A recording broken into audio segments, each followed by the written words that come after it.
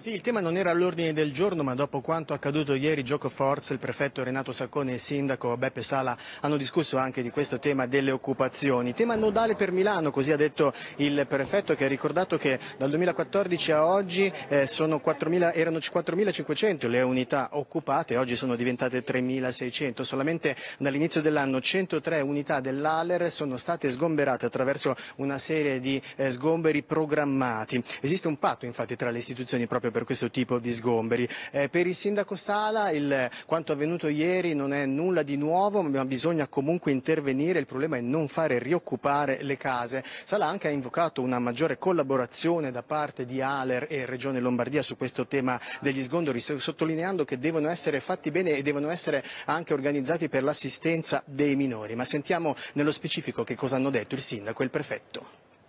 Da Regione e da Aler c'è bisogno di ancora più collaborazione e noi faremo la nostra parte, cosa stiamo facendo, per far sì che le occupazioni non avvengano.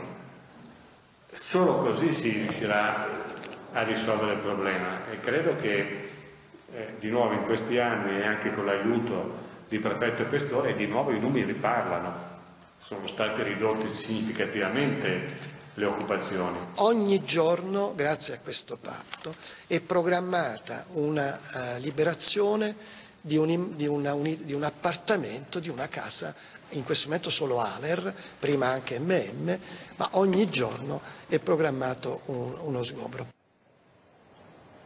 Sul fronte Regione Lombardia sono intervenuti l'assessore alla sicurezza Romano La Russa e l'assessore alla casa e housing sociale Paolo Franco. Hanno invocato tolleranza zero su questo tema. L'assessore Franco incontrerà oggi pomeriggio il prefetto. Ma la conferenza di oggi era stata convocata per discutere del tema delle stazioni, fare un po' il punto della situazione dopo cinque mesi di controlli, 9.000 uomini impegnati in questi controlli, 47 diverse operazioni e una diminuzione dei reati del 27%. È tutto. A voi la linea.